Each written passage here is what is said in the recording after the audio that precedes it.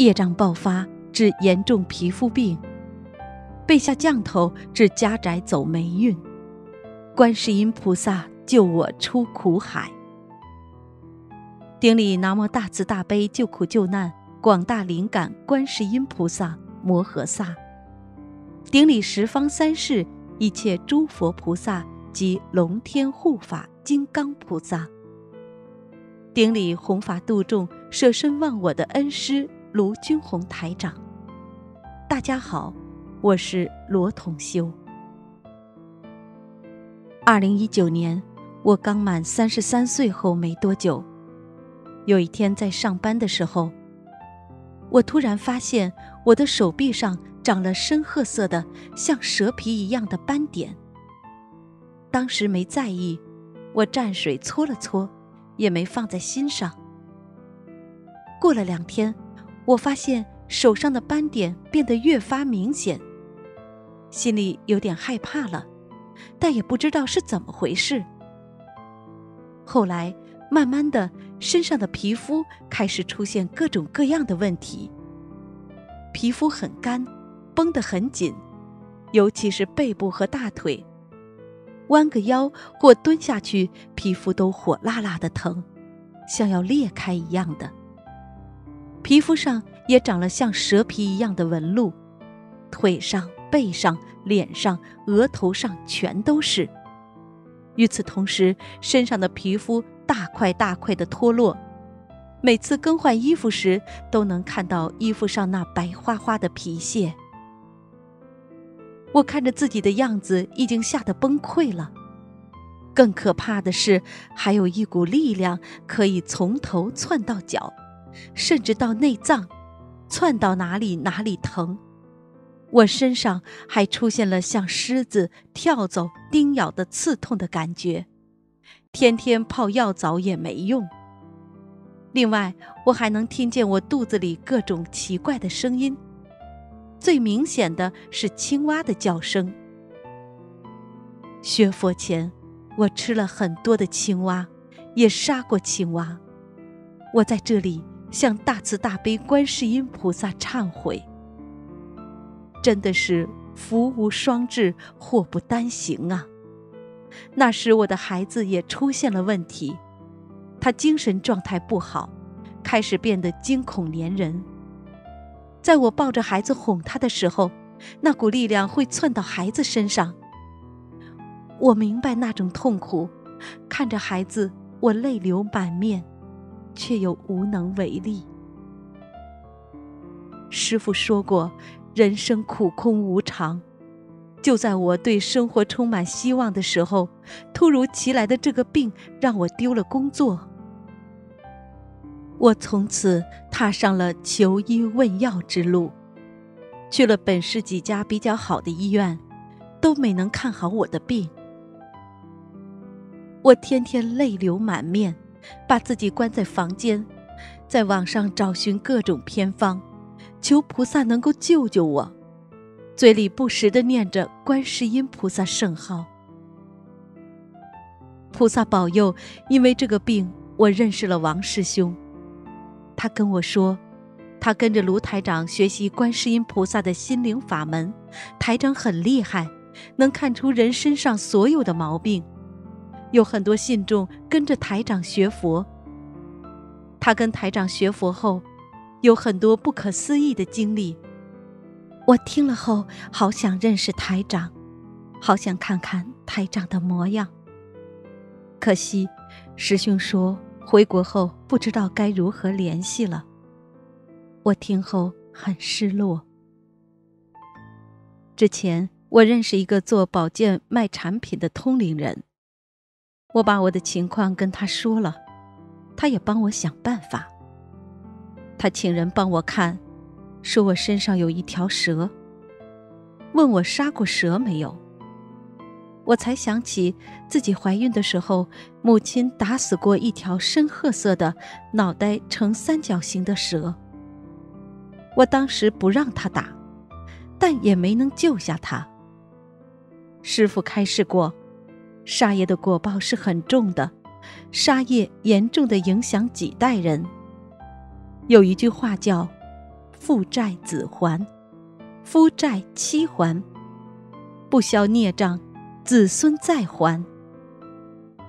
要修福修德，多给孩子留一些德，才能让德行传给子孙后代，庇荫他们。没过几天的一个晚上，我在做艾灸的时候，那股力量又来了，从身上游到我的额头，显现在我额头上。我额头上的皮肤凸起，像是一条蛇的形状，是很清楚三角形的脑袋。当时吓得我头皮发麻，我赶紧给那个通灵人打电话。他说：“就是他让这条蛇来显现的，让我跟那条蛇忏悔。我忏悔了好久，那条蛇才暂时的离开，但是并没有解决根本问题。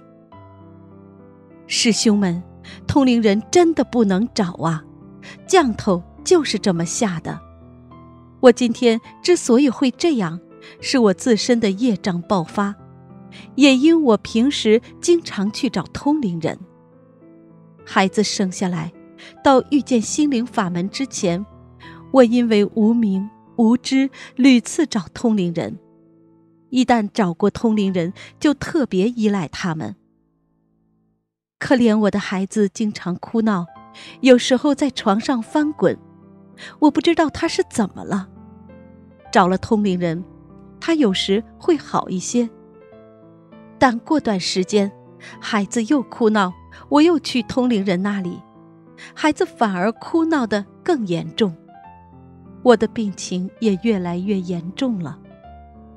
我每次都要找他们，家里根本就没有消停过，状况连连，霉运不断。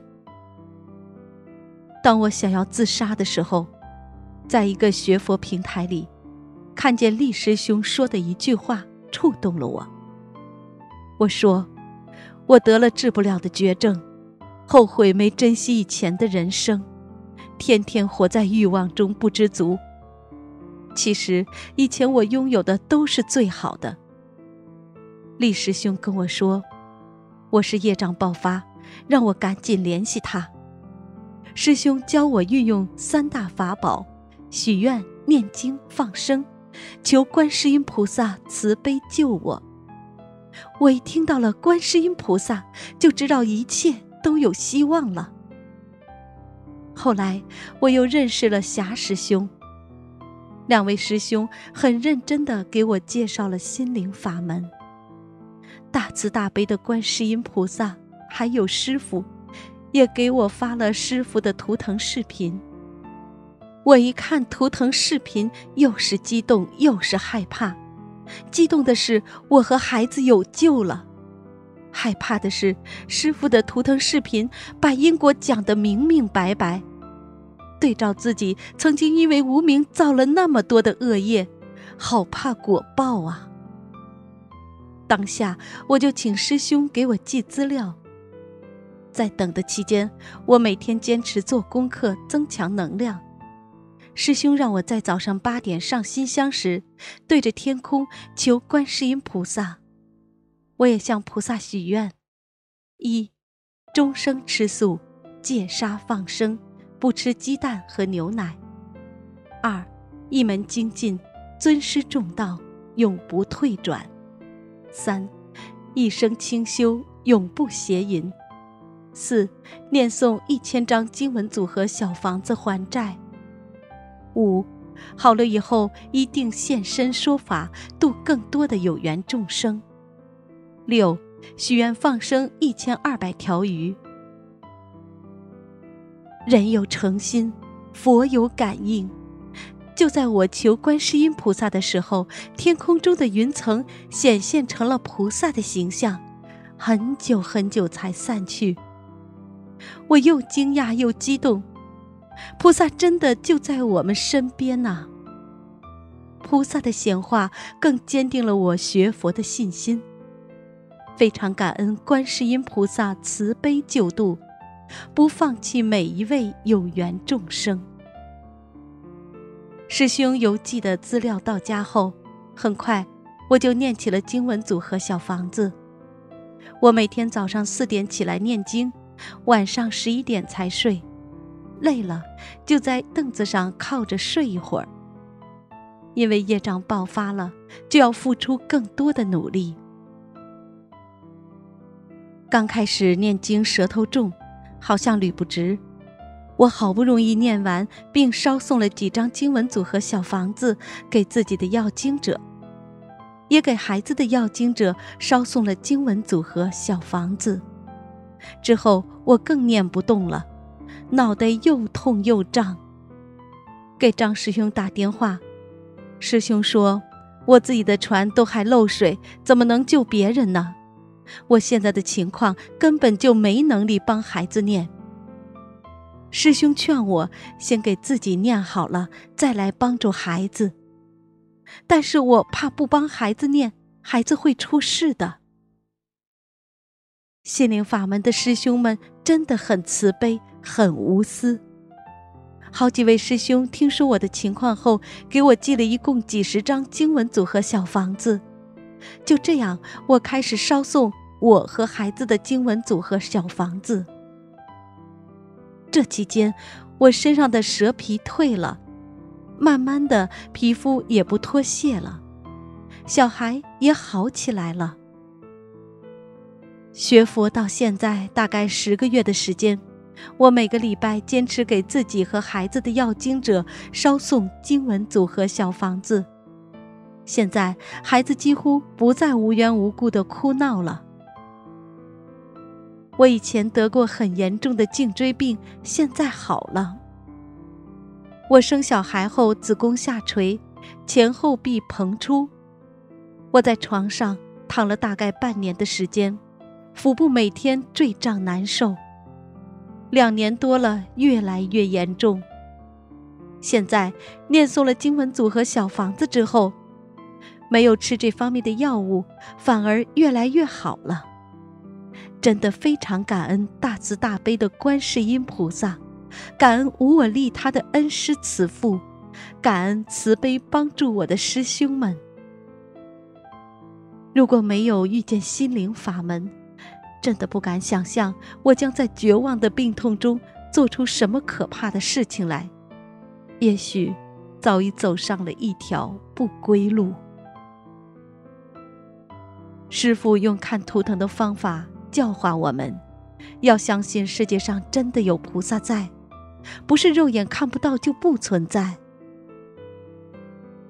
师傅在苦口婆心的让人相信佛法，救度众生，我们无以回报，唯一能报答师傅的，就是珍惜这么好的法门，跟着师傅好好修，将苦难和疾病视为增上缘，好好念经还债。